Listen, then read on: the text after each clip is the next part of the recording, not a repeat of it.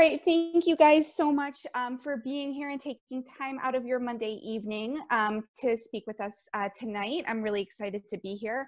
And today, um, what I wanted to talk about is the concept of free time, the free time free for all, and how that really plays a pretty big part in success as a young adult.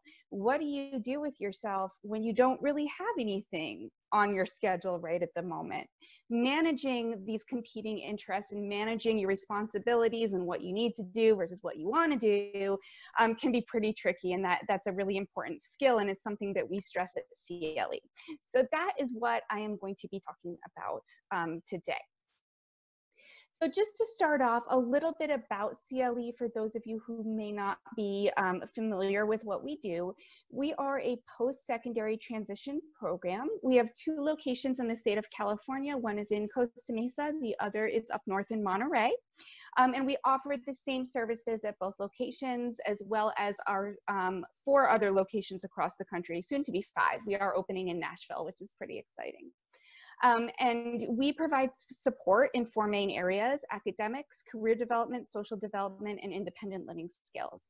And by weaving these four areas um, together, students receive anywhere from 20 to 30 hours of direct support from us in these areas while they are living in their own apartments, um, usually with a roommate, um, and we support all of those skills to help them um, go to school if they want to, or pursue a career, or both. Um, we have students who kind of mix it up, so that's fine too. Um, so I would encourage, um, if anybody would like to talk further, I'm certainly happy to do that in a separate conversation um, about our, our center in Costa Mesa and what we're doing there. Um, so some really exciting stuff. Despite COVID and despite everything that's going on, um, our students are still making amazing strides in independence.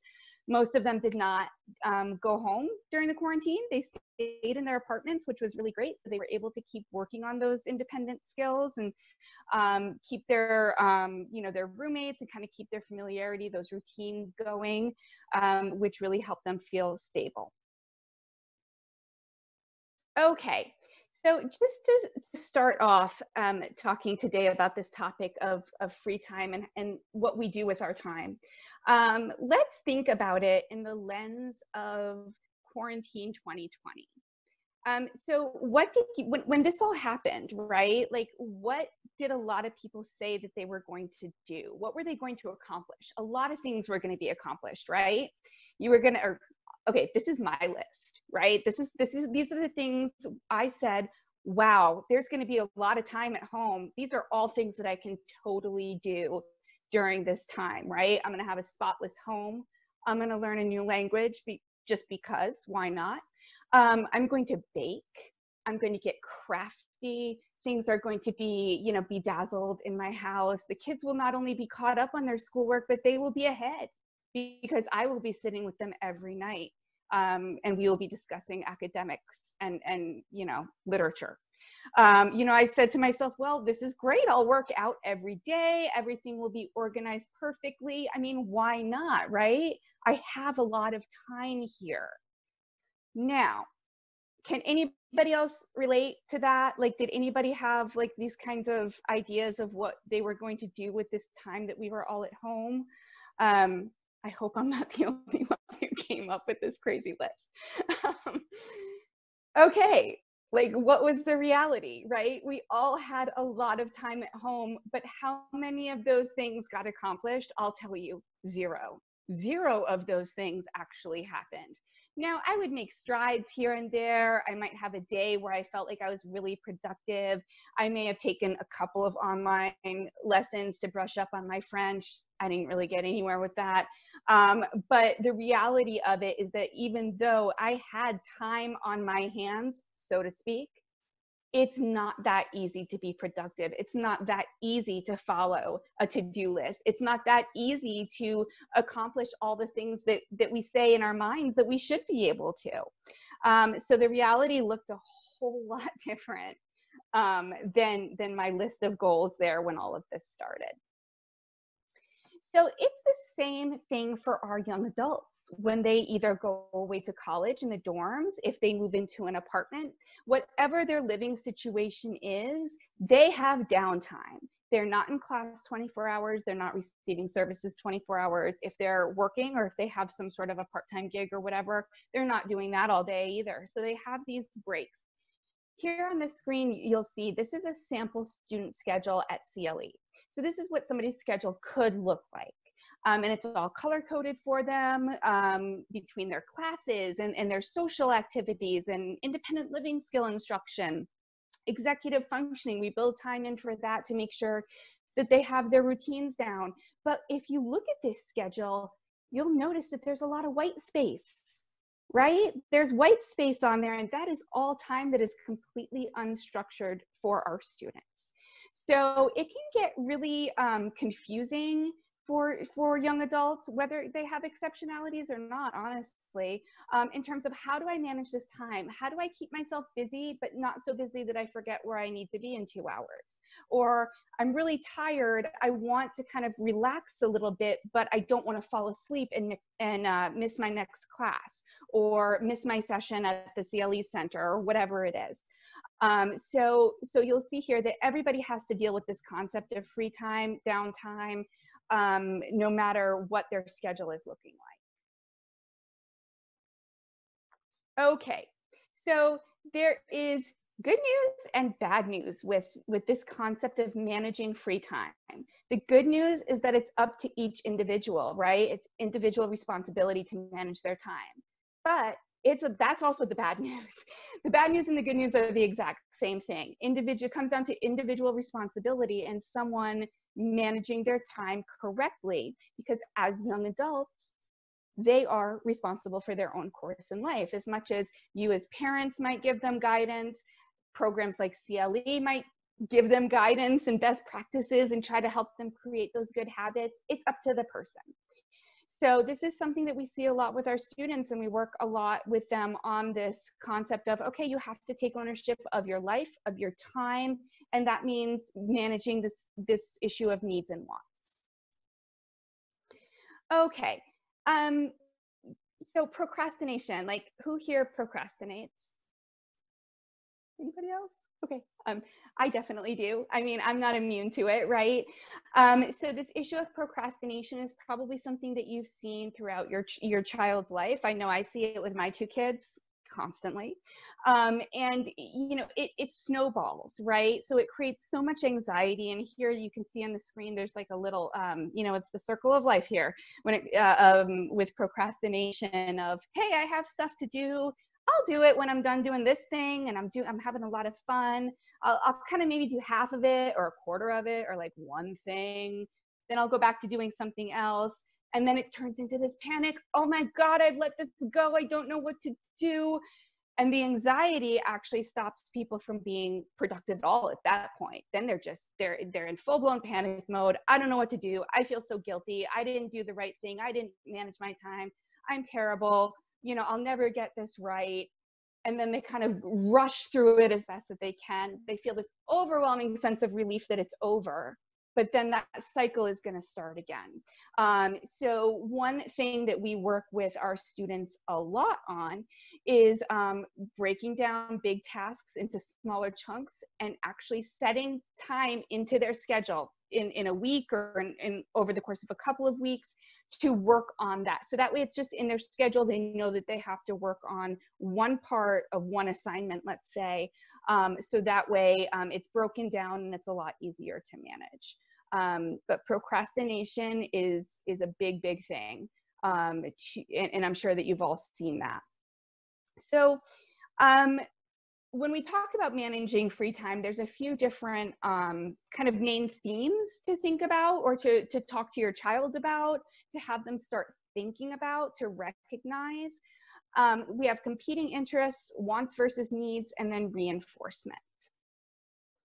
So let's talk a little bit about competing interests. And this is a really, really interesting time um, to be talking about this issue of free time just because, you know, we have been in quarantine for so long. Um, we just kind of started to come out of it. Now they're talking about possibly, I, I live in the, I live in LA County, so at least LA County is talking about possibly new stay at home orders. Um, so, so this is a really, really unprecedented time um, it, when it comes to young adults learning to manage all of this and, and what they need to do when they're pretty much stuck in one place for the majority of their day. Um, so when we think about competing interests, these are some things that your child might be dealing with or, or might be trying to figure out how to manage and how to balance. So they know that they need to do online school meetings, right? That's an expectation that they participate in whatever schedule their school has put forth. But they also really need to maintain connections with friends. Um, they need that for their emotional and mental well being. Um, they know that they need to attend to personal hygiene, but they may not really want to wake up early. They, they want to make sure that they're getting enough sleep so they don't necessarily have time in the morning to do everything they know that they need to clean their apartment or their house or wherever they're living but sometimes that gets really stressful and they know that managing their stress is also important. They need to help themselves but they also want to help others whether that's a family member a roommate um, society in general if they wanted to volunteer if they wanted to be part of something else. Um, so that can be conflicting interests. Um, eating healthy meals or following a diet you know kind of a um, or even an exercise regimen, just kind of trying to be healthy. They may really need to do that, but then they also need to be very mindful of their budget and what they're able to do, um, given the constrictions that we're all operating within. So there are a lot of competing interests here, and you can see here that when people are trying to juggle these ideas, it can be like, oh my gosh, wait, I'm just, I, I don't know, I'm not going to do anything today because I don't know what to do. Everything seems important yet nothing really seems um, like it's the right thing to do right now. Any questions or comments about that before I move forward? Okay. So wants versus needs. This is another thing that comes into play when, when students, or we call them uh, students at CLE, or young adults um, have free time eh, or downtime and they're just hanging out in their apartment um, how many of you guys have heard this for those of you who have children who are gamers? I need to meet this level, mom. I need to beat this level. Hang on. I, I know I have to do my homework, but I need to beat this level. I hear this every day. Um, so is that really a need? No no, nobody needs to beat a video game level in order to live their life. Um, but for students and young adults, it can be difficult because it feels like it's a need, right? So it, it's it's really a want though. They want to because it gives them a certain sense of satisfaction. Um, when in reality they need to do their homework so then they can get good grades they need to attend to personal hygiene um, you know for, for health reasons they need to actually stop and, and eat a meal um, sometimes um, you know sometimes our students forget to eat because they're in the middle of doing these games or doing a hobby doing whatever they like to do. Um, so identifying wants versus needs for students is incredibly important. And sometimes what we do is we sit down with our students and we, um, you know, go through their day and kind of like, well, what did you do today? And, and we make a list and we kind of identify what is a want and what is a need. What did you really want to do versus what did you need to do today that maybe didn't get done? Um, so a lot of times our young adults will absolutely say, I need to do this, I need to do that. I need to, um, you know, play this game. I need to listen to this music. I need to watch YouTube videos about this topic that I really like, when in reality, they don't need to. Um, they may not like to hear that. Um, but, but emphasizing what they really do need to do versus what they might want to do um, can help them put it in perspective sometimes. Okay, um, when we talk about reinforcements, um, what, what works? Um, and this is going to be different for everybody. So as you are helping your child or your family member, somebody that you know, your young adult, to identify reinforcements, um, it, they can come in many different ways. Internal reinforcements, some people are really good with that. Um, some people like external reinforcements. And um, also known as bribery. Um, I am not above bribery myself. Um, so if it works, it works, you know, as long as it's within reason and it works for your family and it's something positive, hey, it works. I think that we're all kind of, um, we, we all respond to external reinforcement. Um, it could be short term versus long term. So it could be that they get um, a five minute break after they complete one part of an assignment. Um, so that could be a really short term reinforcement that gives them a chance to breathe, maybe get up, take a short walk, get a glass of water, whatever it is. Or it could be something long term that they're working towards a bigger goal. Um, and then there are positive and negative reinforcements. Now, I know that negative reinforcement is not something that really anybody likes to do, um, you know, and it's not something that's recommended in terms of, the, you know, threats or punishments. If you don't do this, then something not so good is going to happen. Um, generally, we like to stay away from those, but there's plenty of great things um, that can be positive that can serve as reinforcements. So I wanted to take um, a minute here and ask everybody who's on here tonight if you could just respond through the chat of what are some um, reinforcements that work either for you yourself or for your child, your young adult, um, you know, somebody else that you know. What works that you have found?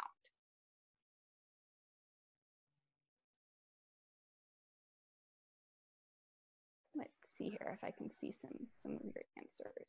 So everyone should use the chat and share with Melinda if there's something that's a positive reinforcement that works for you. Maybe it's money, maybe it's going somewhere. I mean, I will go first and totally admit that I bribed my middle school son um, that if he did everything perfectly in summer, not perfectly, but if he attended every class for summer school and turned in every assignment on, on time, complete, that I would get him a VR headset. So it was incredibly motivating. He has not missed one second of class this summer. So it's been awesome. But what else has worked for you guys? We got, money. Feeling better about my health. Trips or outing, bonding times. I know I watch uh, videos with my son kind of as a positive reinforcement. Let's get this done and then we can watch Bakuman or whatever. Okay, there's some ideas. Very good. Thank you everybody for for sharing. That's that's some really good, you know, ones that I think that a lot of people use. Um Food milkshakes. ooh, yes. I would do that. Yes. I could go milkshake. Very good. Thank you guys. So just remember that um, you know, when when your child, your student um, does have to make some tough decisions about their day and about how they're spending their time, you know, sometimes a little bit of reinforcement in the in a good way that speaks to them um, can be really, really powerful. Okay, let me go back here. Okay, so let's talk for a second about motivation versus habits. So a lot of times you hear, well, to do something, to get something done, to do something appropriately or to be successful, um, you have to have the motivation. And in thinking about this, it sounds really good, right? It sounds pretty pretty straightforward. Like, yeah, I'll just be motivated and I'll get it done, and and this is going to be great. But in reality, it's not really motivation that leads you to success, or that leads anybody to success or achieving a goal. It's it's habit right? Because I may not want to get up and run in the morning. I may not be motivated at all, but if I have the ingrained habit of doing that, I'm going to get it done. If I if I make it easy for myself, um, if I put my shoes right next to my bed and I put my my running um, gear right next to my bed, so I literally can't get out of bed without tripping on it, that builds the habit of okay, this is what I'm going to do first thing in the morning, and that will lead me to my goal, uh, my ultimate goal. I do have a goal of running a half marathon this year. So we'll see how that goes. But I'm working towards it and I'm trying I'm trying my best to build those habits so that way it just becomes part of my day whether I really feel like it that morning or not because I will say there have been plenty of mornings when I've had no motivation to do it whatsoever. But because everything was laid out, because I set things up in a certain way, I did it. So when we want to build healthy habits um, for ourselves or for our young adults, um, just start with something really easy, something so small, whether it is um, putting out your toothbrush and toothpaste right um, you know in the front of the sink so that way um, your your child your student will have to look at it first thing in the morning um, whether that is getting a laundry sorter so that as soon as they take their clothes off they can put the lights in one bin and the darks in another to start to build those habits of taking care of their laundry and their clothes um, whatever it is, start with something really easy. Um, set yourself up for success so you have the tools. You're not kind of fumbling around looking for different things. It's it's really um, right in front of you and it's easily manageable. And then the third thing, and this is something that um, I think can get lost a little bit, is to make a plan for failure. Um, no matter what you're trying to achieve, no matter what goal you're working towards, at some point things are not going to go the way that you thought that they would. It's never like a straight line right? To, to success it kind of goes up and down and up and down and up and down. Um, so when you do fail and i use that term in, in the best possible way but when you aren't successful um, when you do encounter stumbling blocks or roadblocks what are you going to do? Um, because sometimes things can be going really really great but uh-oh you know something happens i had a stress fracture a stress fracture in my ankle. Oh my god. Okay now does the whole thing stop? Does my whole entire goal stop? Will i let this derail me? And it's really hard sometimes to say well you know what? If i do get injured i'm going to have to take you know several weeks off. I'm going to have to you know take this medication or i'm going to have to do these treatments these stretches whatever it may be. Um, but what are you going to do if things don't go exactly as planned. I could I could call my mom if I'm feeling down. You know, whatever it is, make a plan for what will um, be helpful if things don't go exactly right. And and this is life, right? I mean, we're all seeing how unbelievably unpredictable life is right now. Um, so if things don't go quite right, have a plan, have an idea, talk it over with your child. If they do encounter difficulty, what is going to be like the first step that they'll do? Um, you know, maybe that's calling you to kind of vent. Maybe that's calling um, someone at, at, a support program if they're in that. It may be um, writing down a list. It may be journaling, whatever it is. Um, just knowing what to do when things don't go right is a big, um, if you have that, you're able to kind of get back in the saddle a little bit quicker. So this is um, something that's so simple, right? But it's something that we have our students do either on a daily basis or a weekly basis. And this goes back to the wants and needs. We have them write it down. I think that it's great to do on a daily basis just because with the week, you know, things can get kind of switched up. Sometimes things come up unexpectedly during the day. Um, and of course, you know, that resiliency and kind of that adaptability is certainly important, but write it down. Have your child write down what do they need to do today? So you can make two columns. What do they need to do? And that could be go to class, work on an English assignment, take a shower, and help with the dishes after dinner. It could be something like that. And then that's what they need to do. And sometimes in our heads, it gets really overwhelming where you think, oh my God, I need to do so many things today and there aren't enough hours and I don't know what to do and how am I going to get it done? And then it turns into this panic situation. But when you write it down and you look at it objectively, oh, wait, I only need to do four, I need to do four things today. You know, that, and, and that's that online school, homework, um, taking a shower, and helping with chores, whatever that is. So sometimes seeing it written down, it can just help to kind of clarify things. It doesn't feel like, oh my God, I have a hundred things I need to do today.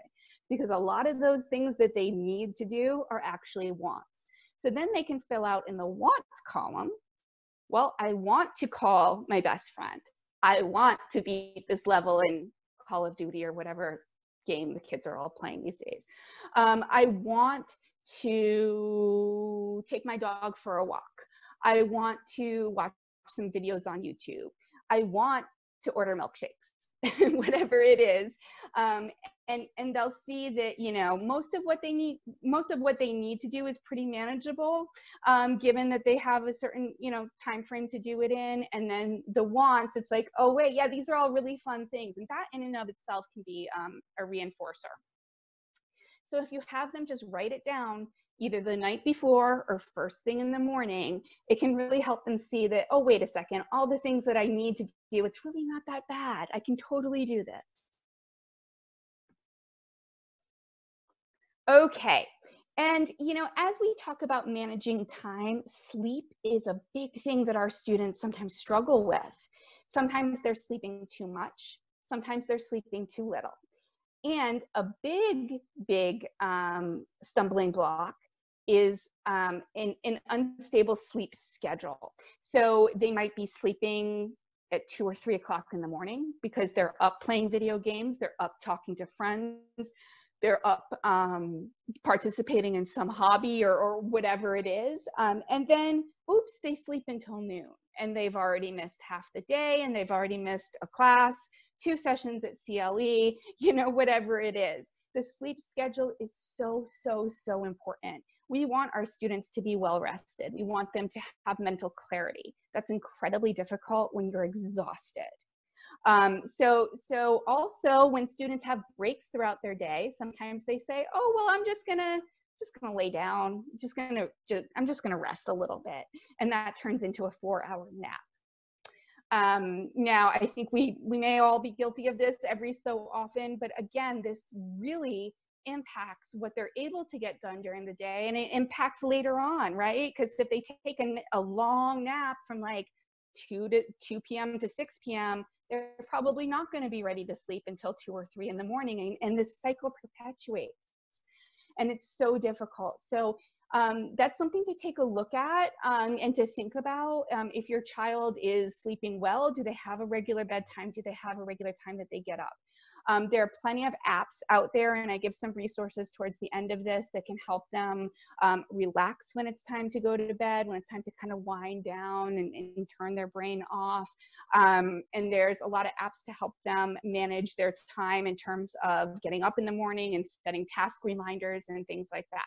But getting enough sleep, getting quality sleep, and being on um, a, a, healthy sleep schedule is so incredibly important. Um, otherwise, it's going to impact everything that they do throughout the day and how they spend their free time. Because this free time will then turn into napping time, um, which can be detrimental all the way around. Okay, another thing um, that that comes up a lot for our students when they, when it comes to managing their free time is they, they have difficulty with transitions. And I'm sure that this is something that a lot of people talk about. Um, maybe you've worked with your child specifically on this this issue. Um, but you know, when our students are hanging out in their apartment and they're playing games or they're talking to friends or you know maybe they're cooking something really good and, and they're really excited about it. Whatever they're doing um, in their free time is really fun and they don't, don't want to stop when it's time to maybe go to an online class when it's time to work on a school project when it's time to um, you know scrub the bathroom whatever it is. They, they don't want to stop what they're doing. So um, being able to transition from one task is, to another is a skill that we work with our students on quite a bit we try to group tasks together. Um, so if it's stuff in the kitchen, we try to have them do everything in the kitchen that they need to do at one time. Um, we try as much as possible to control the environment. Now that can be kind of tricky, um, especially given the um, constraints that we're all under, right? Most colleges, if not all, I would say 98% of them have announced that they will be fully online for the fall. Now that can be a really difficult for any student to try to make their home into school. It's not, you know, when, when they're home, they have this feeling of, hey, this is my house. I can chill, you know, and they're in bed with their laptop, like trying to pay attention, but it's really difficult when you're reclining in bed to be in the mode to receive the information, to learn, to be actively engaged. So something that we're doing at CLE for this coming semester is that um, when students have their classes, and, and they're all gonna be online classes, um, but when they are scheduled for class, they are going to be doing those classes from our center, from our tutoring rooms. So that way they still have to get up, they still have to get dressed, they still have to brush their teeth, they still have to gather up their materials, their books, their computer, their iPad, whatever they're using. They still have to be at our center on time, just as they would have to be at class on time. And they still have to be actively engaged in their class. And that's a lot easier to do when you're not in bed. so that is one way that we are um, kind of battling this problem of the environment um, and, and trying to mi mimic a classroom as much as possible while still keeping them, you know, socially distanced and all of that. But it's, it's making sure that they still have a routine and that they feel as though they're going to class when, you know, as much as possible. Um, we use timers or visual countdowns a lot with our students. Um, we have clocks up on the wall and they can set it to um, count down to a certain time that they have to be working on something. Um, and after finishing a class or a task, most of our students like to get up, um, stretch, get a glass of water, get a really quick snack, um, whatever it is, and kind of end one thing and then get a breath of fresh air and then come back because that makes them ready to do a different thing. Another thing that we use with our students, um, we use a lot of checklists. Um, our students all in their apartments, they have laminated cleaning checklists. So every week they check off when they do a task. That can be very reinforcing and motivating to see that they're checking off everything that they're supposed to do. Another thing that works for some um, students is to have like a finished box or a basket or something, or it could just be a section of their binder or a notebook where everything that they finished, they put in that one place. And by seeing that pile kind of grow, that can be really motivating and very reinforcing as well. Okay, now when we say free time, leisure time, fun time, downtime, whatever it is, um, I think that something that's really important to remember is that leisure time or free time is really important time right? It's really important to feel as though you have some some time that you can call your own that you're kind of the master of your own destiny during those hours and you can do what you want to do. Um, so we certainly don't look at all that white space on a student schedule as anything negative or anything wasted. It's incredibly important. Um, having that balance is incredibly important. Um, so, so we, you know, whatever students want to do during that time, we consider that very important. Um, for their well-being, their emotional well-being, their mental well-being, physical, um, and we want them to make the most of it doing things that are enjoyable. Some of the benefits of having leisure time or free time to do what they want to do, to do what, you know, kind of makes them happy. Um, they're in a better mood. They have lower stress levels. They learn about themselves um, as people, you know, what what do I really like? What really speaks to my soul? Um, do I feel, how do I feel after I do this activity versus this other activity? Um, they, they really learn a lot about what works for them. They have less boredom. And again, it gives them this feeling of control over their time. They're young adults that's what we all think of, right? Like I remember when I was in high school, I was like, oh my God, I can't wait till I get to college so that way I can do what I want when I want you know it was this idea and of course it's not really like that but you know we all want this feeling of you know i am the master of my destiny. I can make my own decisions about what i do and when i do it. Um, and and that feeling of control is is a really big thing and that's that's a that's a hallmark of adulthood um, so having that time and building that time into their schedules gives our students that feeling um, that that they are um, that they've they've kind of made it to adulthood, which is nice. Um, so self-care, I mean, this is something that you hear about all the time and everybody's saying, you know, remember it's so self-care is so important and it is. And this is, um, again, a way that we can encourage our students to use their downtime or their free time in a way that will be beneficial. So they're not just kind of zoning out, although sometimes zoning out is good too. Um, but we encourage our students to take a walk, take a bath or a shower. Um, sometimes our students will like do an at-home spa day, which is really fun. They can play a game, watch some videos that they like that, that are, um, also somewhat uh, academic or somewhat informative. Um, so that way they learn something while they're doing that, and sometimes just quiet time. Um, our students are usually bombarded by all these different things. There's so much going on in the world, in the news, right? Where we feel like it's an avalanche of sound and visuals and messages and all these different things coming in. And it's so important sometimes just to take quiet time, unplug for half an hour, and really just let our brains rest. So these are all really uh, great things that we encourage our students to do during their downtime. And then there's doing nothing, right? So if somebody says, hey, what did you, what were you doing this afternoon? And if somebody says, oh, I was doing nothing, kind of automatically, is that a more positive connotation or negative, do you think? I think for a lot of people, doing nothing sounds like, oh my God, you're so lazy. You were doing nothing? Really? You know, when sometimes that is just what the doctor ordered. Um, sometimes relaxing, you can call it meditating, you can call it daydreaming, you can call it whatever, whatever term works, but sometimes that is actually a really, really great way to spend some downtime. Um, because again, it's that disconnecting from all the messages and and all of the different videos that we're exposed to and the social media scrolling and and all of the sounds and everything sometimes doing nothing really really can help more than anything to get some clarity so when our students say i just want to do nothing for an hour we say okay okay that means doing nothing that means like not being on your phone not being on your ipad whatever it is like just let's just do nothing. And they come back from that a lot of times very refreshed, um, a little bit clearer, more energized, and they're ready to kind of tackle the rest of their day.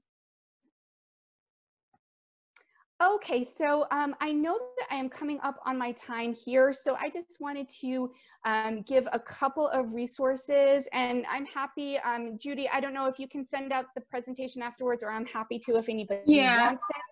Uh, just my two cents. Uh, we did send it out ahead of time to those that executed a liability waiver. Those that didn't can do that. And I will be happy as a positive reinforcement to send them your presentation. Excellent, thank you. um, so that way um, you don't have to worry about writing this down or anything like that. Um, but there are some really good apps out there um, that help when it comes to tasks and routines and even um, things that they need to do, such as taking medication. There's a really great app that all of our students use called MediSafe um, and getting them in the habit of managing their own medication and remembering to take that can be really, really great and give them that sense of accomplishment.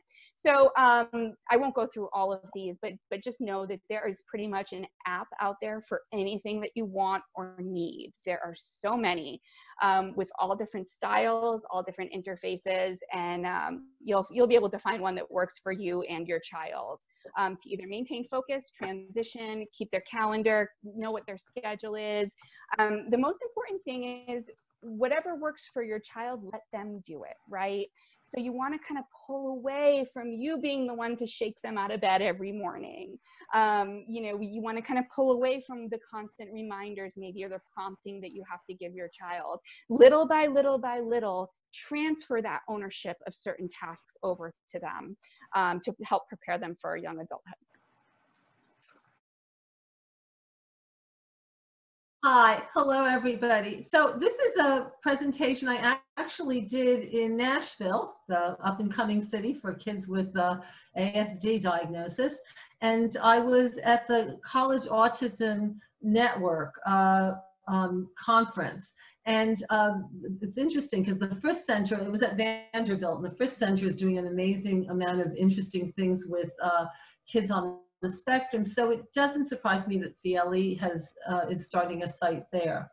Um, now, when we talk about kids on the spectrum, we can be talking about a whole myriad of people because it's a spectrum. So you can have everybody from the child that is um, nonverbal to the professor that you had with not a lot of great social cognition skills, but he was really hyper focusing on his dissertation and was amazing whatever he was teaching you. So I'm not sure what resonates with you and what resonates where your student is, but if this doesn't really connect with you or your student, um, maybe it connects with somebody else that you know. Uh, I, when I work at the College Blueprint, and also the UCI Child Development School is now the Children's School. They opened the first year with uh, the joy of having COVID, but um, they're, they're continuing on. Um, so this is uh, just a presentation I did, and I sort of will sort of move through some of it quickly. So moving on. Um, okay. Um, I'm just trying to think how I can, I have all of you in the, on the side here. Oh, I'll, I'll just manage. Um, what happens when uh, you are thinking about going to college or your parents have thought that you should be going to college and it's not really working well especially in a place like Orange County where everybody pretty much when they are doing their Lamaze classes, they're already looking at the Common App for what their child is going to do in the future. So this is something I was hired to do uh, at the uh, college blueprint basically is work with students who were challenged. And uh, many of them i have kids um, all over in all sorts of colleges actually all over the world because if uh, well we'll talk about that but basically a lot of a lot of portals are now virtual and so you can sort of know what anybody is doing without ever listening to them believing them or having a conversation just by looking at their portal and seeing what's been submitted and what their real-time GPA is. Uh, but I also had a lot of students that I felt like they were a round peg in a square hole and they kept getting chafed because they were in the wrong place. And in, in ed therapy, we talk about goodness of fit. It's not like I am against college. I come from a whole line of people who teach in college and work in colleges, but um, I don't think it is necessarily for everybody. And it has no concept at all or no thought to how intelligent somebody is. It's much more if it's a good fit for the goals of college. So the presentation is going to focus on when college might not be a right path, the benefits of attending a professional school or certificate program in a professional school, managing parent and community expectations because parents live in communities and so a lot of times even if the parent is saying one thing, the community could be saying something completely different. Community meaning maybe their friends, uh, their grandparents, the uh, churches or synagogues they belong to, all these other things that make up the student and their community. Scaling a career up or down, key factors in successful in employment and keeping the goal of college alive. So starting, um, uh, you have to do all of these learning outcomes when you do a presentation at a university. They're very funny about that. But I want to be able to to, explain to you when you can recognize a student who's not a good fit for traditional education and describe the process of transitioning a student from college to a professional school, managing, managing parental and familial expectations, and justifying to the student and the family when alternative planning is appropriate. So I look, and I don't play tennis at all, but I look at, at school a little bit like a tennis game.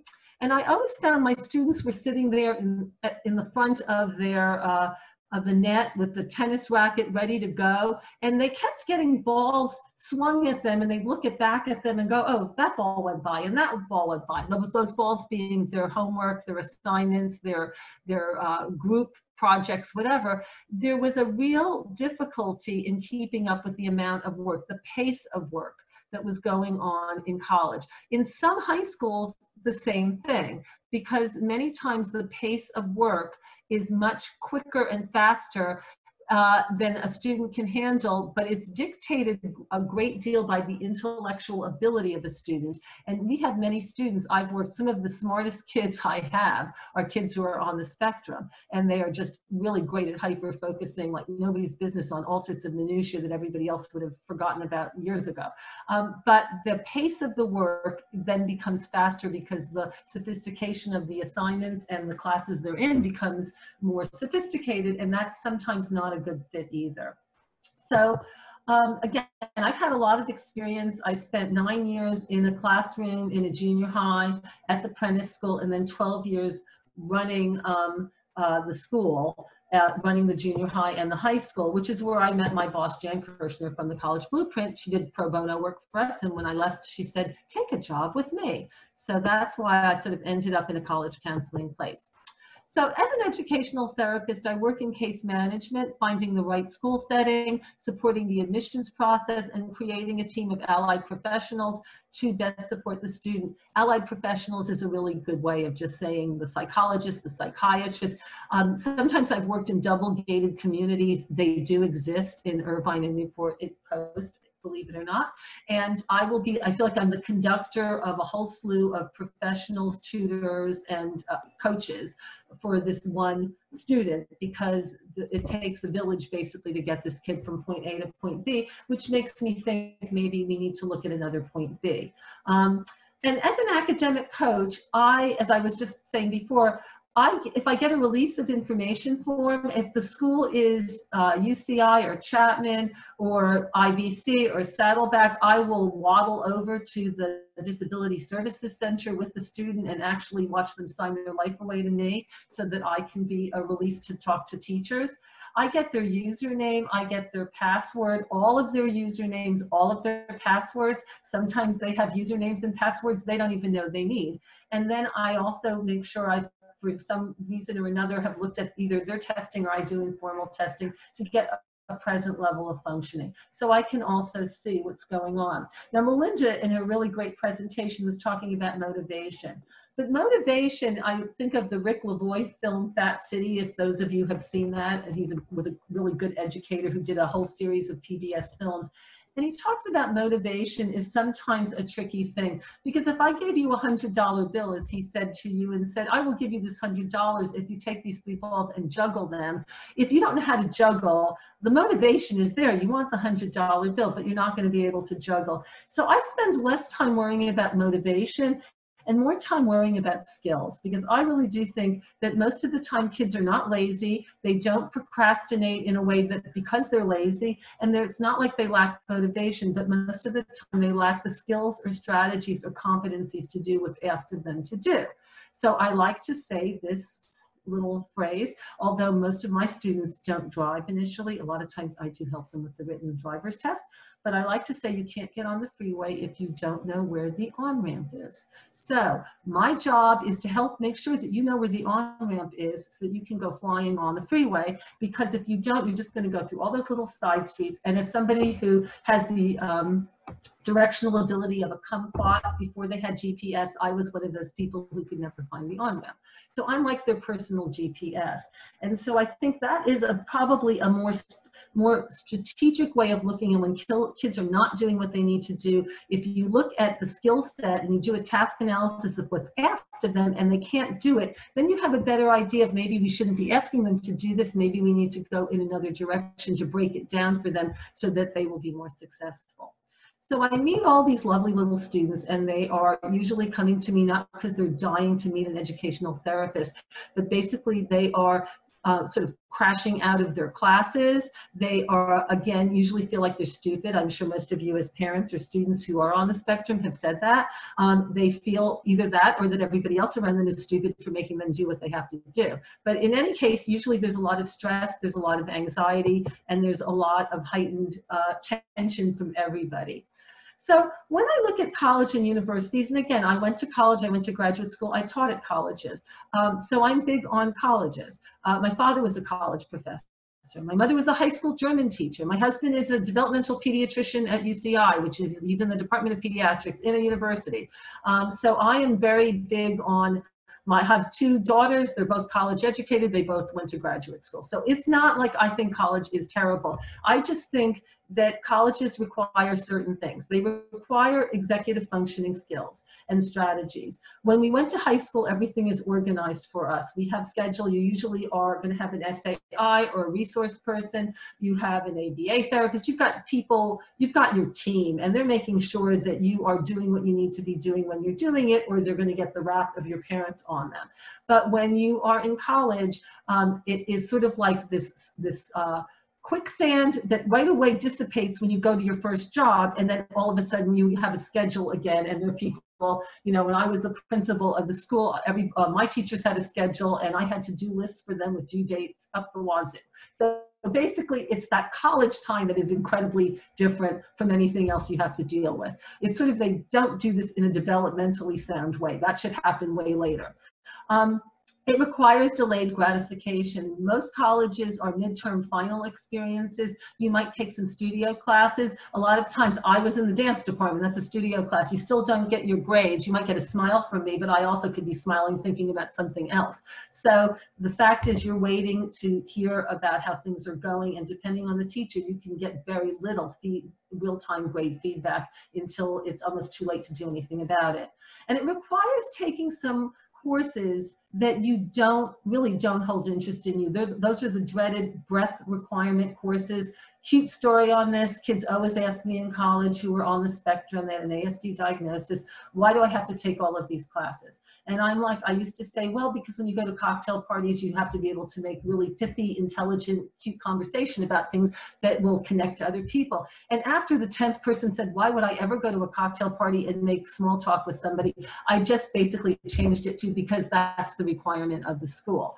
Um, the reality is what I know about kids on the spectrum is what they do well, they really do and what and they do it really well and what they don't do well they don't do. It's a very black and white experience. There isn't a lot of gray there. And so this is a lot of times what shoots kids in the foot is they don't want to take the classes so they give it very little attention but you still have to pass those classes to go on to be able to take the classes you want to take which don't usually happen in, in depth until your junior and senior year. Again we don't do this probably developmentally sound for soundly for a lot of people. But professional technical schools are real interesting because there's a shorter period of study.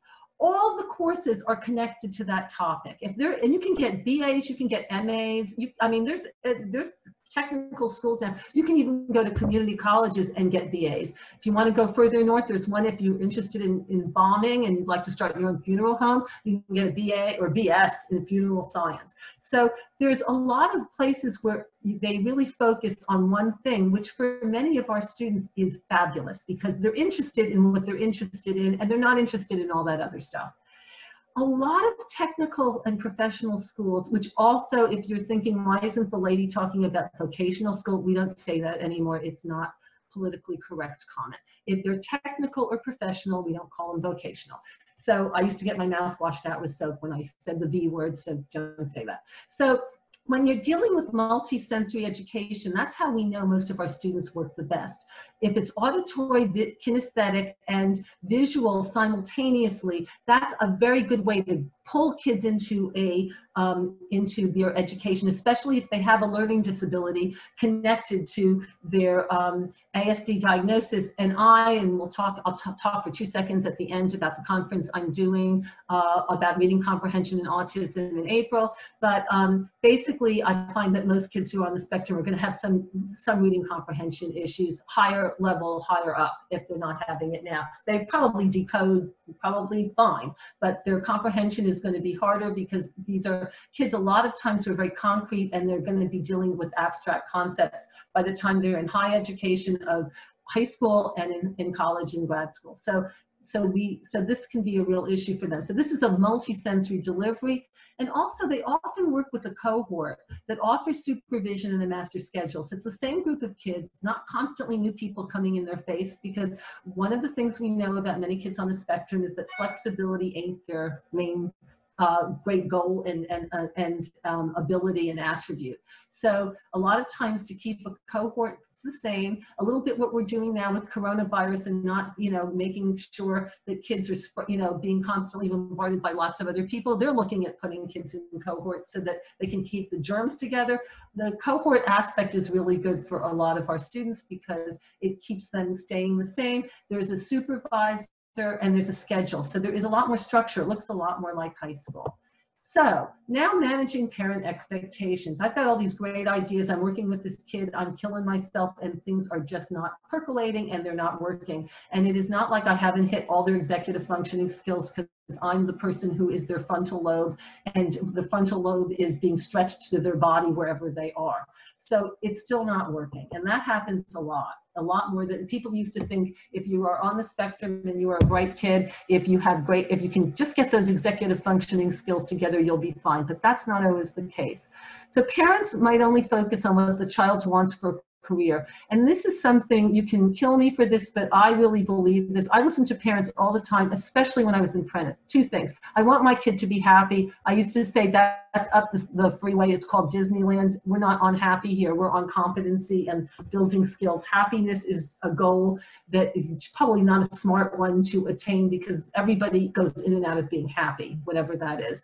Um, but another thing is when parents would tell me, I want my child to do what they love doing, I look at them and I say, can you tell me how many adults you know are working in jobs that they love doing? Most of us work in jobs because we've got to pay the rent, we need to eat, we have to have, you know, a shelter over so we don't get drenching wet. So if neurotypical people much of the time have to go and look at reality and see where their skill set is and where the jobs are, probably a kid who has some challenges might have to also figure that they might have to look at what is out there in the real world. And I'll give you the example everybody I know, almost every kid either wants to be a YouTube influencer or a gamer. But when I break down all of the, the skills that you need to be a YouTube influencer or a gamer, or anybody who doesn't have a really solid structure and doesn't have supervision, a lot of times these kids are like, and I'll do a, a survey with them uh, just to see where their, their skills are. They don't, they're not so hot in, in being entrepreneurial, taking the lead, calling people up, being incredibly social, or being able to manage a schedule. In fact, while this pandemic has been going on, most of my kids now they're sick of it. But in the beginning, they were perfectly thrilled to be away from school. And many of them had told, told me, Karen, I've been practicing social distancing my whole life. This is nothing new to me. And, you know, they, I was the one freaking out trying to get help from them. So, you know, it, it's, it's the kind of thing where I think parents have to also realize the world does not change for their child, that their child is going to have to do some movement for the world. And at the end, I'll tell you why I have a very real way of uh, a real uh, experience in what I'm saying. Um, and then fa again, families always fear financially what's going to happen to their kid at, at, the end. What am I? What's going to happen when my when we're dead? Who's going to be taking care of my kid? Is it going to be their siblings who are going to really love that, or is it going to be you know a, a, you know what's going to happen?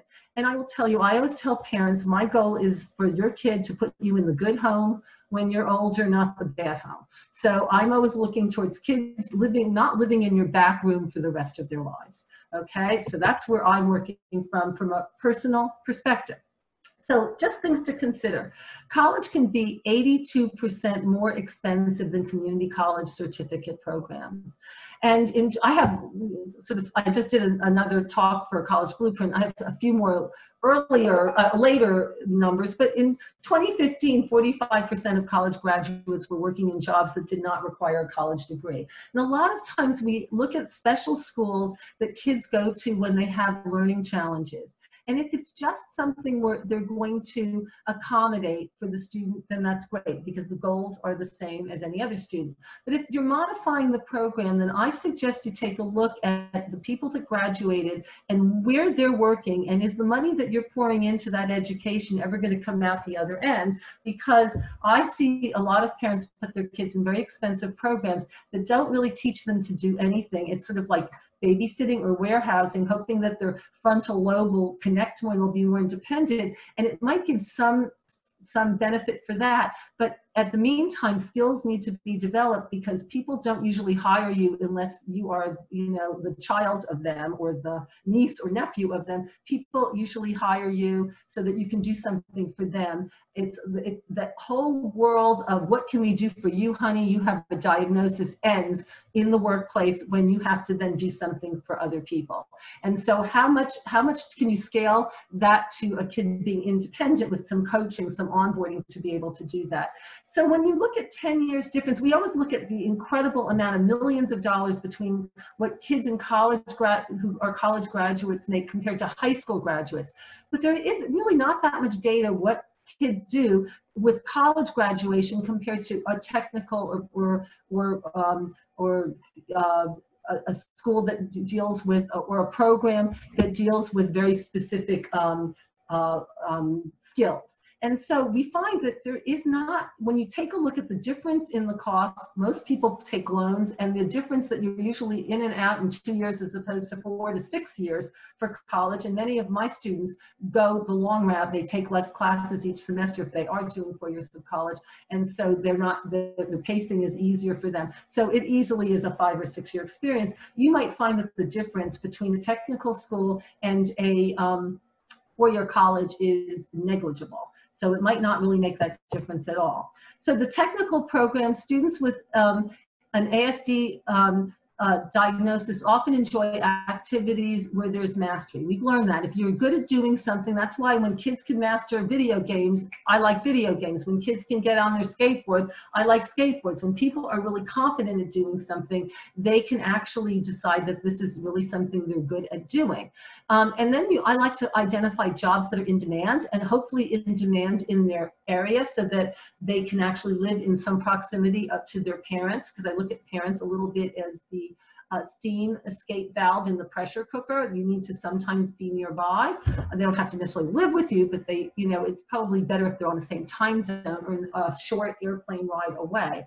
Uh, and better if it's in the same time, in the same town. I encourage jobs with schedules that exist and can be modified so that the kid knows what their day is going to look at. So there is what we call the anticipatory set before the day begins, and that there's supervision and it's built in, not snoopervision so somebody is snooping, but real supervision so that you, so somebody is there to help you because remember we talk about kids with ASD as needing social autopsies. They need things at the moment. They're not really great at delayed uh, feedback because the generalization uh, gene isn't necessarily well developed. And again, I'm doing great generalization in my work with kids with ASD, but I've worked with a lot of kids with ASD and generally some of these characteristics I very rarely see a kid who doesn't have those, those issues, uh, although they do exist. So I'm gonna tell you about Robin. Robin is one of the students I got from a referral from uh, a community college, and she had a diagnosis of ASD and LD. She had no real support in public education, and she went to a very good school district, but she was compliant and shy and sweet, and I bet you a lot of teachers basically confused compliant and shy with mastery of skills. She was not a good student, but she sort of eked through with very little um, support from the school, although she did get accommodations. Some she used, some she didn't. And she enrolled in a community college for her AA degree. Her parents were divorced and, at, and not very much on the same page and adamant that she was going to college and then she was going to um, transfer from her AA degree to a four-year college and she was going to uh, make something of herself and have a job. And then what we found was that she came to me because she had really poor attendance and she had really low grades from the community college and she was basically not doing anything. She was uh, uh, sort of not necessarily, she had shut down. I'm not going to say she procrastinated. I'm not going to say she was lazy. I'm not going to make any judgments. I think she didn't have the skills to be in the situation she was in, and she shut down. So, after meeting with her and her parents and realizing that what her parents wanted was probably going to be hard to deliver unless I spent a lot of years with her, um, and they were, you know, they were putting giving her to me twice a week, and um, they registered, they paid for my services, and I got a release from Disability Services at a community college I love, and I was on speed dial to the professors and the teachers and her parents, and we were good to go. And the first thing I had to do was I had to get her to go to school.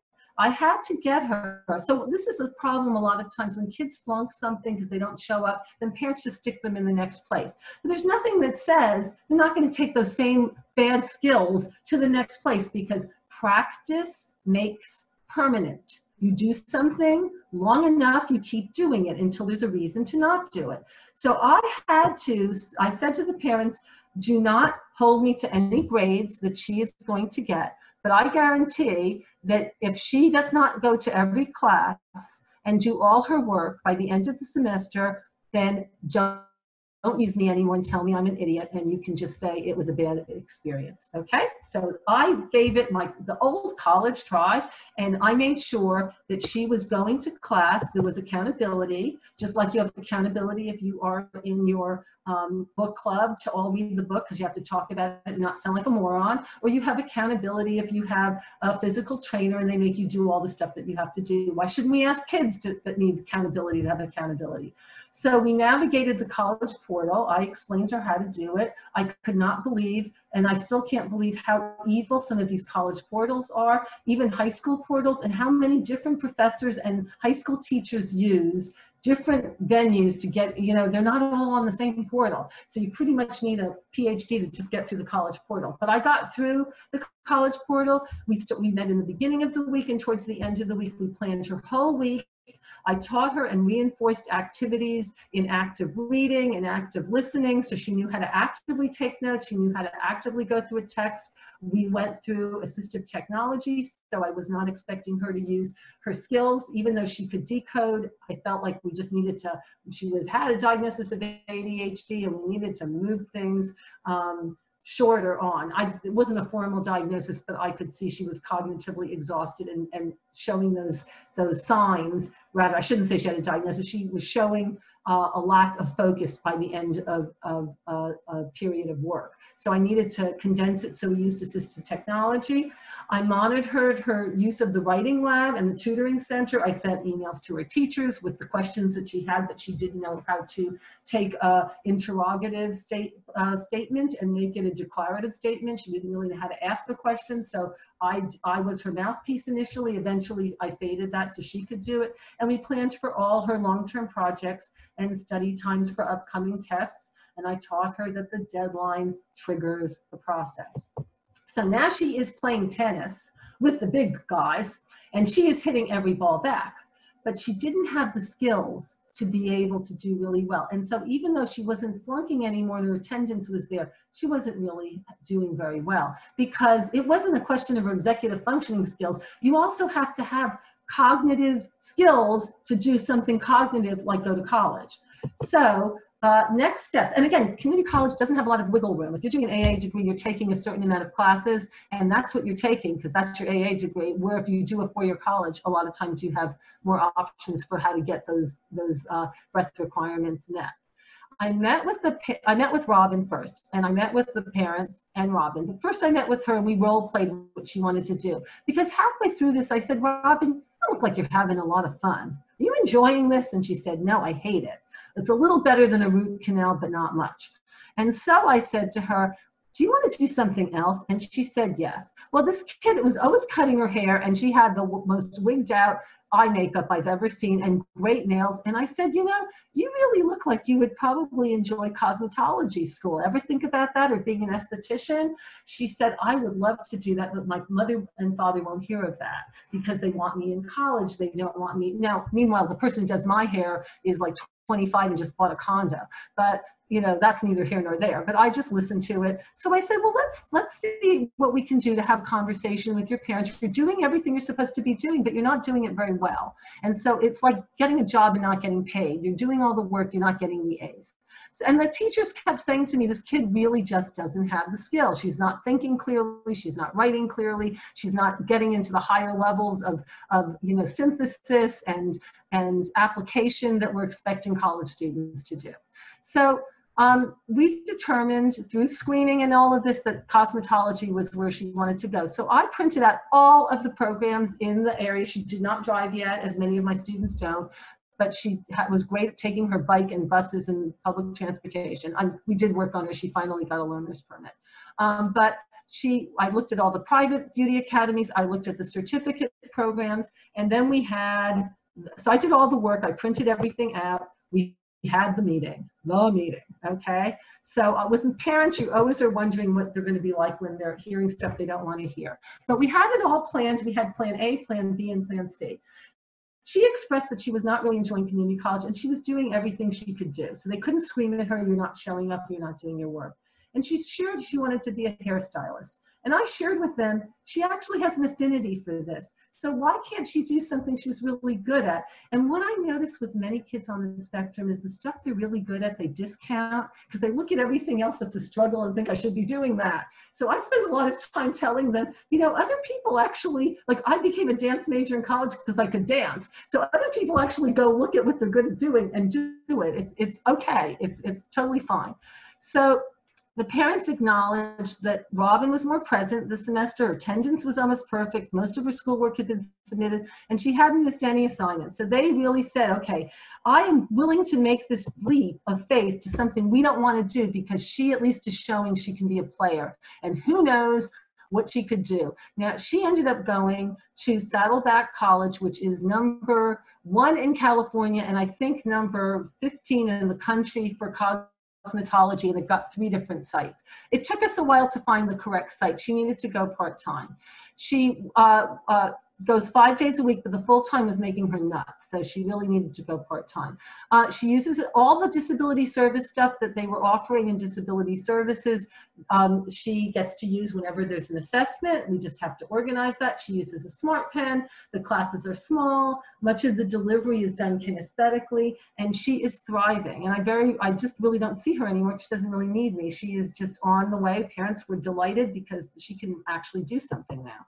Um, now we can adjust the outcome. She has to do the licensing, licensing exam, but you can take that a gazillion times. So this is what I like about when I think about kids with ASD you gotta be able to scale up or scale down with a lot of students. So she could work in a high-end salon, but probably she would need to have some really great cognitive ability as far as, I mean, social cognition to be able to, to have the conversation, you know, be able to fit in, do all of the things that you need to do when you're talking and really pulling in high, high paying clients.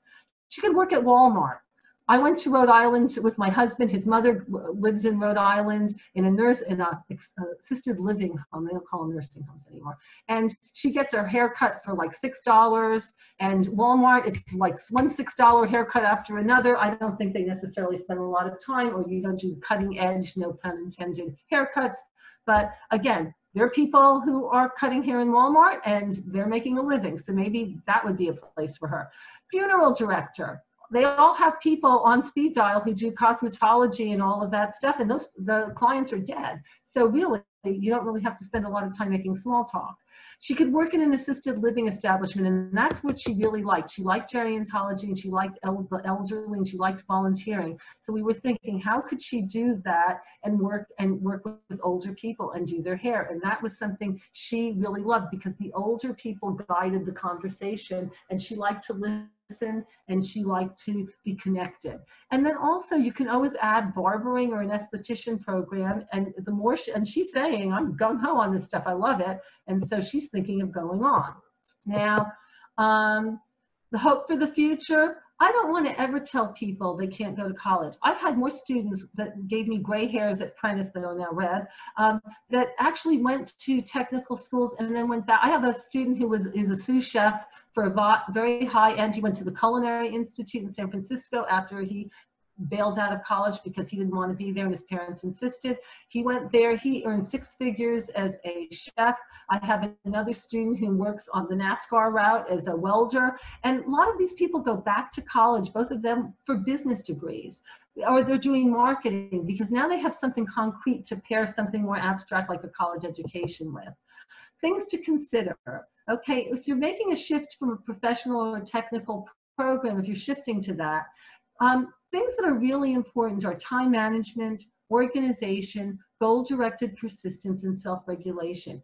A lot of my students are not really big on any of those executive functioning strategies. And so when they are going to a professional school, a lot of those things are embedded in the education, so it's taken care of anyhow for them.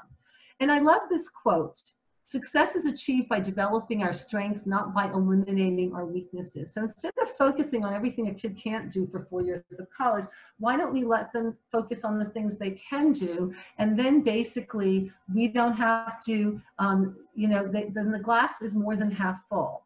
Um, and then I'm going to tell you about the reason that I talk about these things. This is my family, okay? I have a daughter and a son-in-law and two grandkids, and that daughter is a lawyer. who actually does special needs trusts. Um, but the other daughter who's on the side, who's now lost a lot of weight because she went on a radical diet, is my daughter who is 34, who is on the spectrum. And so for 34 years, although I didn't probably know about it till she was about four years old or five years old. So I've had a lot of experience being the mom of a kid on the spectrum. And that kid went to college and she went to graduate school. She went to college. She needed a lot. I mean, I probably would have done it completely different had I known what I know now. Um, but she did go to a small college and she majored in English and she really was a concrete thinker in abstract thought. So she went to graduate school in library science and she is a librarian in one of the county libraries. She's been there for this is going on, I think, her sixth year, and she um, she lives. She doesn't live in our house. She lives four miles away in a condo. She goes to work. She gets benefits. She has a social life. She has friends. She drives her car back and forth here. She drives all over creation, actually. And basically, what I have learned is that when she started working, the world did not change because my daughter had a diagnosis of ASD. They expected what could she do for them. And the more she could do for them, the more she was marketable. So we just had to keep doing a lot of what I do now for other students. I just sort of had to figure out on the fly. And a lot of the things, my husband is a developmental pediatrician who works at the UCI Autism Center, um, he had to figure it out. So a lot of this is born from real life experience, and we're still figuring it out. But that kid I know, when we're no longer here, will be able to take care of herself. And it wasn't that I asked her, honey, what do you want to be when you grow up? It's like what can you do? What is your competency? She liked to read. And so that's how i got involved in Prentice she learned how to read at the Prentice school but she liked to read and she likes order and she likes systems. And she actually enjoyed the library a whole lot when it was closed to patrons because she could do her thing. And she's actually in a post-grad program now to become an archivist from cal state san jose. She's almost finished. And her whole job idea is to move to the college level and work with, with in more more resource, more uh, support for, for college and grad students because that's the kind of stuff she likes the best. She knows there's very little unpredictable stuff. She didn't say, please let me be in the children's library section. She's very happy to be in a place where there is support, people understand her. And so I know what it's like to be the parent of um, a kid on the spectrum. It's a club that a bunch of us are in. I'm sure if we could choose the club, we'd pick another club, but you're in there. But the whole idea is you really have to constantly look at what you're seeing and what the task analysis is and what's asked, what they're being asked to do. And that's where you can contact me. So uh, should I stop sharing my screen? Sure. Th thanks, Karen. Oh, you are so welcome. I, oh, I wanted to just say that I will also be, um, I am on the Tri-County branch of the International Dyslexia Association, and we had to postpone our conference, but we will be doing a conference, God willing, that we are all able to walk around the universe again. It will be April 10th at the Prentice School, and it is going to be really on reading comprehension and autism, and I'm bringing in Peter Mundy hmm. from UC Davis, and he's also in the Mind Institute in Sacramento, and he's going to be talking about reading comprehension, theory of mind, and we'll have breakout sessions. And for parents, one of my best pals, David Monkarch, who's a psychologist, he will, in fact, that's his wife there, but I just hung her up on her. He will um, be talking, to, working with the parents. We will have Judy Montgomery, who's a used to be the head of speech at Chapman, working with speech pathologists. You will have Peter working with uh, developmental pediatricians and psychologists, and we will have all educators working with Ruth, Ruth Bass, who is another speech pathologist. So I, um, I hope that you can come. I will send information to Judy so she can pass it on to all of you. I will, I will be happy to pass it on. So that was a lot of information. Um, and I know a number of you actually have kids who've completed college or or completed it yourself. Um, but I wanted to see if you guys had any questions for either Karen or Melinda. So please use the chat function. While you guys are thinking of that, I, I just wrote Josh's story, but Josh just graduated he graduated, it took him 10 years. Half of that was at um, Irvine Valley College. And he, like Karen, started off as a dance major because that was the only thing I could think that he would do at the time. He was really good at hip hop and very into that. And he was not gonna, he was so burned out from school after high school. And then he ended up being a film major and completed at Cal State Fullerton. But I gotta say, Karen, that we were, I call it, um, surrounded by a cocoon of support. And he made it through, he did well, but he needed a lot of help along the way and um, wasn't cheap. But, you know, I'm proud of him and, you know, he accomplished it on his own. But it's different for everyone. It really, one kid with autism, you meet one kid with autism. It is different for every single student. Yeah. Um, you know, I, I still don't see any questions, but I'd like to have Ken and Kenny talk. Kenny just completed a degree at UC Riverside in um, business statistics, and he's currently working on, I think, a CPA. So, Ken and Kenny, you want to take yourself off mute and, and kind of share your story? Did anything that either Karen or Melinda share uh, resonate with you?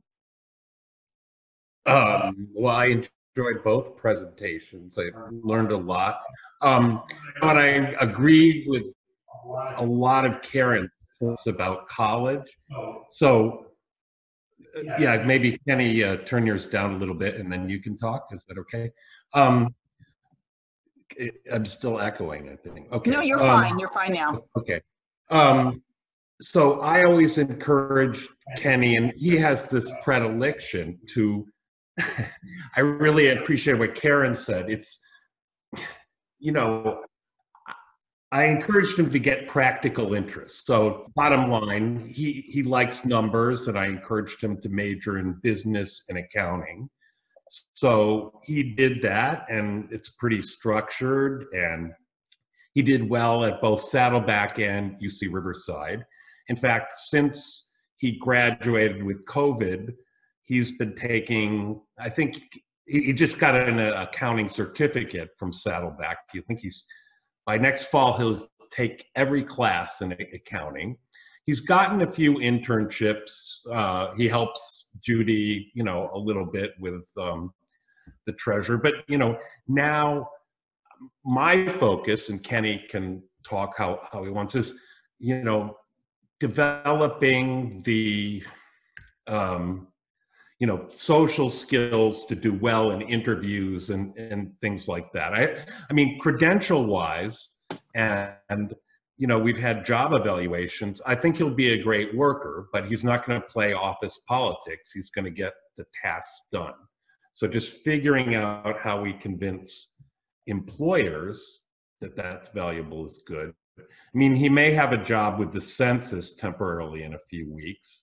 You know he's had a um, an internship or two. Um, and you know, Judy, um, also uh, we talked to the UCLA peers to college, college mm-hmm. to jobs, and so he's going to have an intake interview with them in August. But it's just okay. really putting his education together. I mean, he's a very, pra- you know, with the job market. So I'm sorry for talking so long. No, no, no, that's okay. I, I muted, I muted Kenny if he wants to add anything. Okay, I'll mute myself then, and. so- Okay. Kenny, did you want to add anything to what your dad said?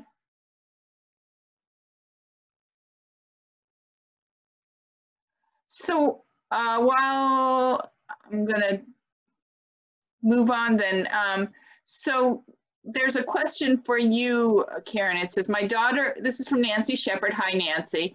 My daughter is a high school junior and is in need of assistance in assessing what she even wants to do. Is the college blueprint a place that may help her? I need to mention her diagnosis of ASD, ADHD, and she has receptive and expressive language difficulties. I would like to have help getting her into the most effective place.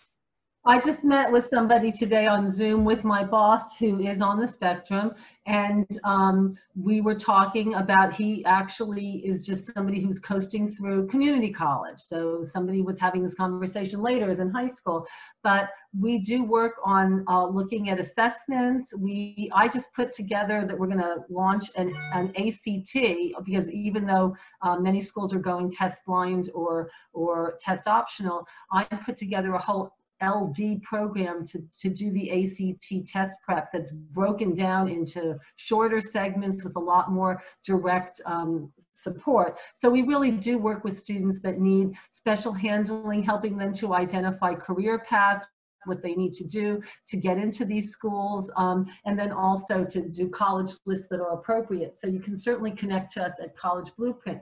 One thing I was just going to say, Ken, for what you were saying, and it blew me away when I was at the College Autism Network conference at, at Vanderbilt, they're doing amazing work with kids who are on the spectrum, who are college graduates, as far as there's a major companies now, there's lists of them. And what they do is it used to be that they would onboard the kid for the uh, for the job but that doesn't always work so well you really need to onboard the job for the kid and so what they would do is they really fuse together um, and there's uh, people who are just um, uh, I think at Morgan Banks, Chase Morgan is one of them.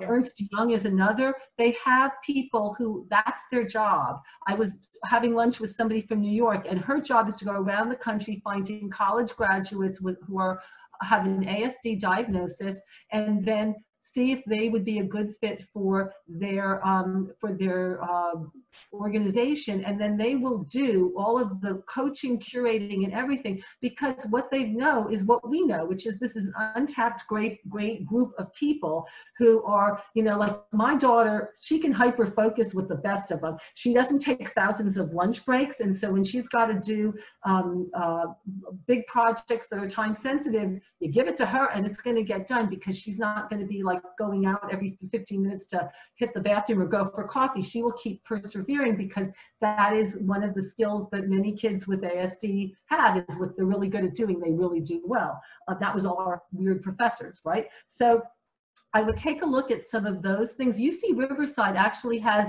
the professor, her name just um, uh, I forget it, but she did Autism Goes to College, that video. And oh, yeah. the one, and so there, there is, I mean, that Riverside is a more, that's where I did my ed therapy. It's a more sensitive, uh, like CSUN, more sensitive school to, to special needs kids. But um, I would take a look and, and there probably are websites and that's a really good place to start because they are looking for your son. So well, Judy's done a lot of research on, on that and she's right. worked working with people and companies right. in Orange County. And I, I know there's probably there's I think all of the big four accounting firms have programs right. like you just right. described. But you know, with the COVID, and uh, you know, I've been yeah. yeah. It's tough. This is a tough year. Josh had started an internship at a movie studio, and it and the week before COVID hit. So yeah. it's not the best year. So anybody else with a question? Um, I know I know Hunter is on the phone, and Hunter has a son who had kind of really really bright kid, but had a bad start and he's kind of restarting. I don't know, Hunter, if you feel like talking about your son. I'm reaching out.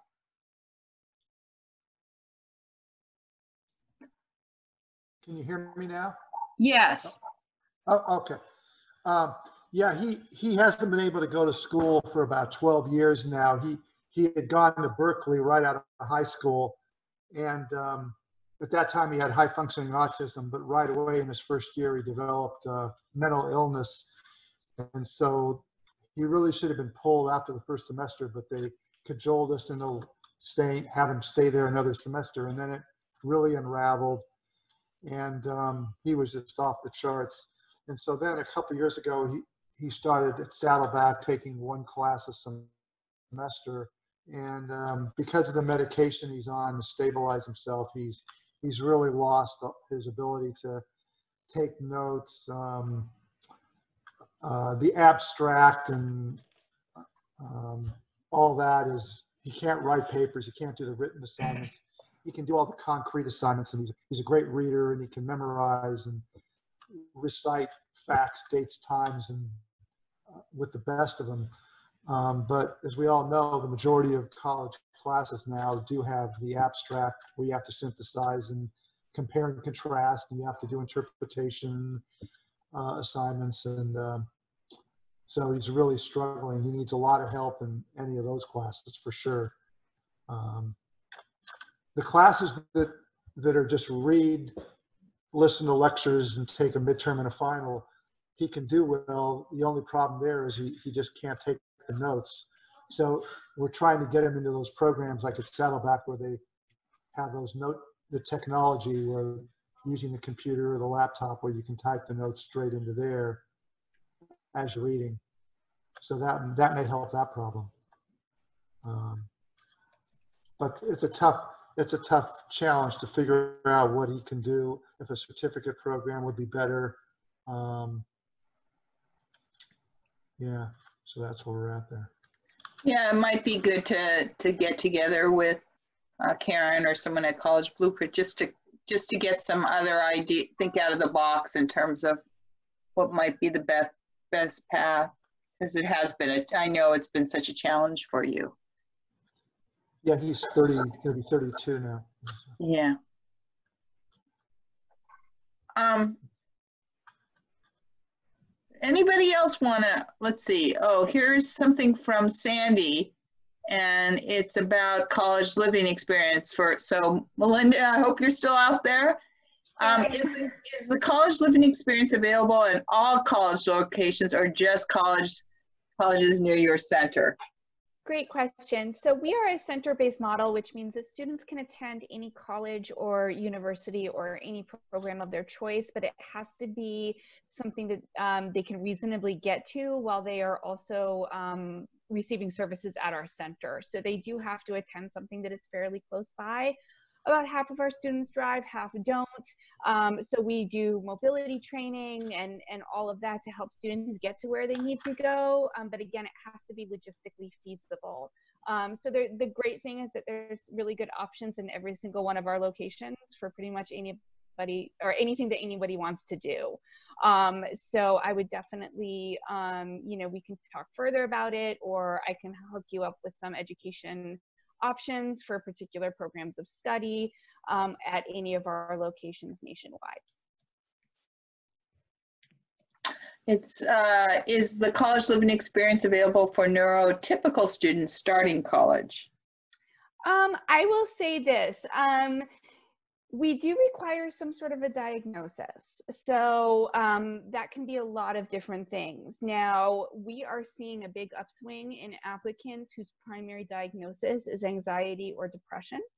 Mm. Um, just because they end up needing the support that we offer. Um, whatever they have in terms of challenges affects them to the point where they really do need our, you know, the services that we provide.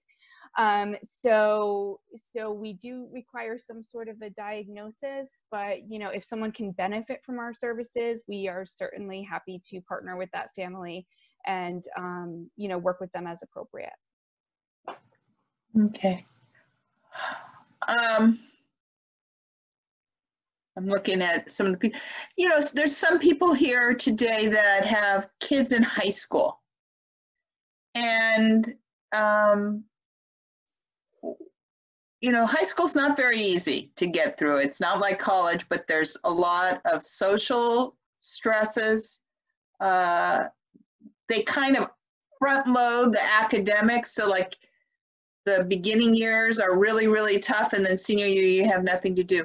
Karen, do you have any advice for uh, parents of of teens in college about how they should approach so if you could go back in time and talk to yourself when your child was in high school how to approach those high school years? Um, first of all there's a lot to do senior year. Senior year you, you read the world's most depressing literature for, for one in your classes and you're trying to get into college or you're trying to make some other plans. Um, and a lot of that isn't in your control uh, unless you're going to community college. Um, when you're in high school, high school is about a lot of things. And again, it's really hard to have a conversation with all of you because everybody's kid is different. Um, and people have different strengths. And what I love to what I love about kids who are on the spectrum is that a lot of kids can't do anything yet, but they can do it eventually. There's a yet there. And it's really nice working with all different kinds of kids. It's really nice to know that at some point, many, when I look at what my daughter does now, and when I even think about her 10 years ago, when I think about her when she was in high school, oh my gosh. So, you know, a lot of times, the first of all, the frontal lobes are usually developing later. The maturity isn't necessarily the same as their cognitively, uh, as, as their uh, peers who are neurotypical. And um, we still, in high school, you have the expectations of the shoulds. You know, you should be able to do this, you should be able to do that. If you've done IEPs, with your kids in junior high or high school should is used a lot.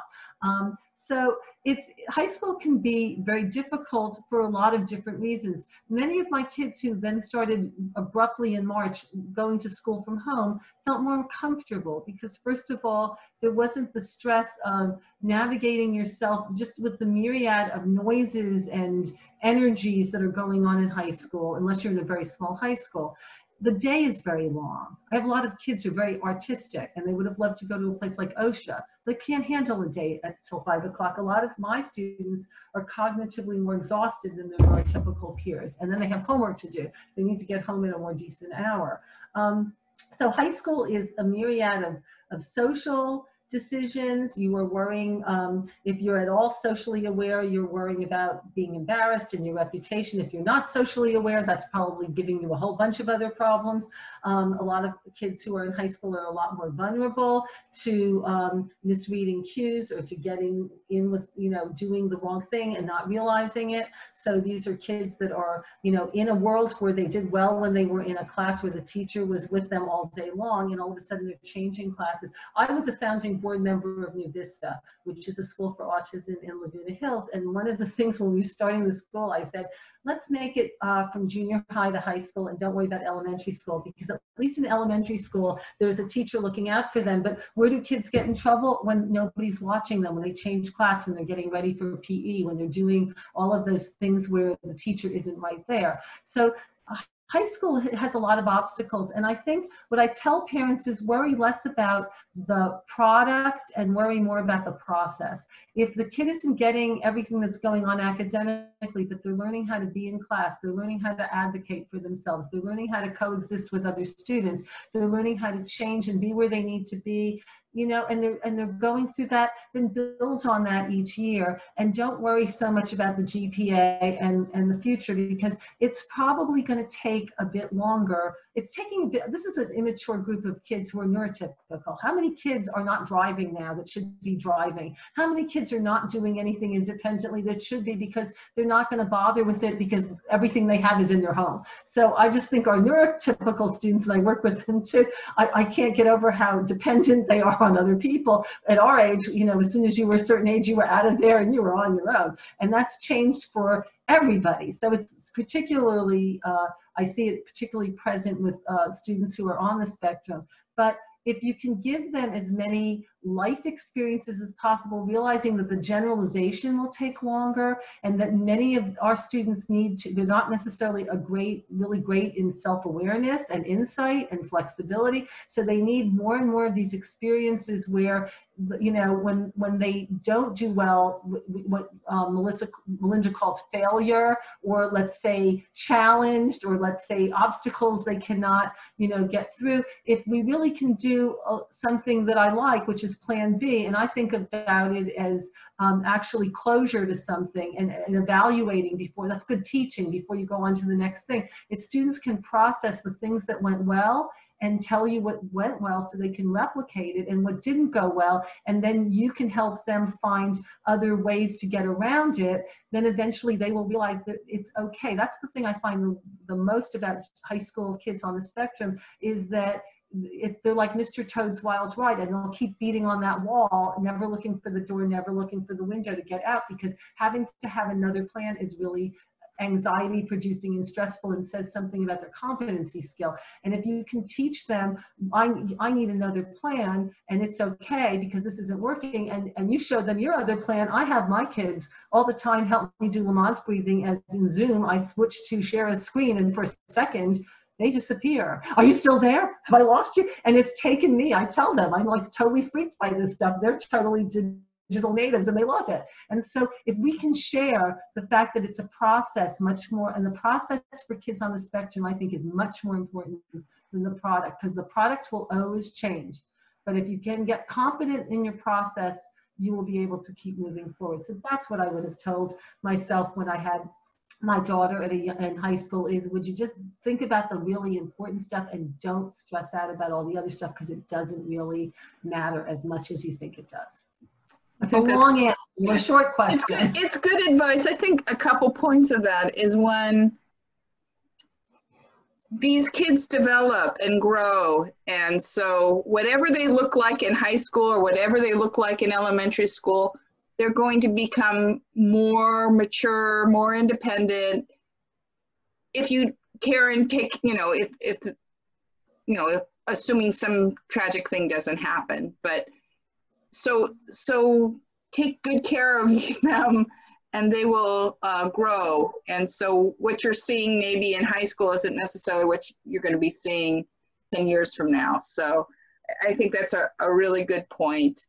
Um, and I think managing that anxiety is also a really good point because what I see a lot from these kids is is anxiety is is um, not you know maybe they're one of the kids that came to a session last weekend was concerned about perfectionism and having everything be perfect and that was stressing him out. Or maybe some of the points that I think I, would like to have maybe um, Melinda talk a little bit about dealing with anxiety because I'm sure she sees a lot of that. So that might be interesting. But I think those are good points. Hey, Melinda, do you want to talk a little bit about anxiety and and um, and what you see at College Living Experience? How you guys work through that?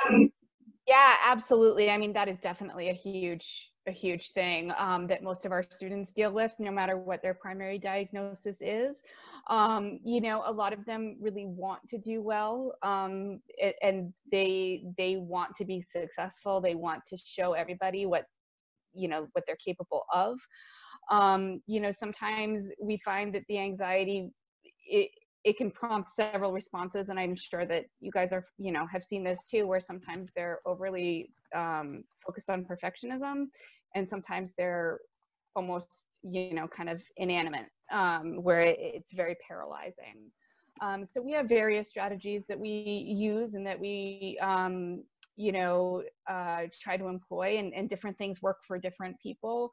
Um, but in general anxiety is something that i would say we see in about 90% of the students in our program in addition to whatever their primary diagnosis is could I jump in about kids who are perfectionists, where a lot of times the diagnosis is OCD, obsessive compulsive disorder? A lot of times, people who show those symptoms, it's because they're controlling the rate and pace of the work. So if I, if everything, I always like to say to the kids, just paint the ceiling white. It does not need to be the Sistine Chapel, but they need to make it the Sistine chapel because then they can really limit and it's like a trickle of work coming out as opposed to a big full onslaught of the faucet being open and the spigot running. And so i find that when you really get to the root of why things have to be so perfect a lot of times I, I, used to see that when I taught and everybody numbered their paper and the kids that had to get the numbers correct and they they're saying slow it down lady. I can't go this fast. So it has to be a certain way so that I have some control of the situation. And a lot of times students with these issues really need to be and that's another thing is to have a really good therapist on speed dial for your kid. And the therapist has to keep changing as the needs change for the child. Very rarely do i find somebody who i mean you're going to have chelsea o'hare in a couple of months talking and i used to work with her at uh, the child development school. She's amazing. But very rarely do you find somebody who can take the lifespan of your kid because your kid will present with different issues at different times. But a lot of times a good therapist who understands kids who are on the spectrum can really get get to a lot of the things that people who are don't have that training or parents can't do. And that has been another thing that has been the lifeblood of my own experiences finding good therapists. I, I would agree with you is is that that's been the cornerstone to just have that regular relationship with a good therapist. Not easy to find, and I know that we get some that have concerns about um, insurance and all, but it, it, it really helps. Uh, there, there's a really good question here um, about units. Uh, this is from Martin. Is it possible? Is it possible common for folks on the spectrum to request and be granted a reduced class load when attending a regular four-year college should the need arise, and at the same time allowed to retain academic scholarships? I don't know about the academic scholarship, but it's certainly possible. Uh, that's uh, many of the schools that have tier three or tier two programs, higher level programs for support. They will work with you so that you're taking classes in the summer or that you're going for an extra year. Sometimes I tell parents when they're planning in high school, you might want to think about the college your kid is going to. If you feel that your child really needs to cut the, the class size down to something more manageable, maybe they need to be in a school where they don't have to worry about getting a dorm after a year or two and they can easily live in the town. Or maybe you need to go to some place where the tuition isn't so expensive because some schools really want you in and out in four years. They don't have the dorm room for you, and you're going to be paying the same freight whether you're doing four credits or six credits, uh, four classes or six classes. So I think that if you feel that your child might need to be able to slow down the pace, which for a lot of kids is wonderful and makes them a lot less stressed and they do a much better job, then basically you might be looking at uh, that might influence the choice that you make for college.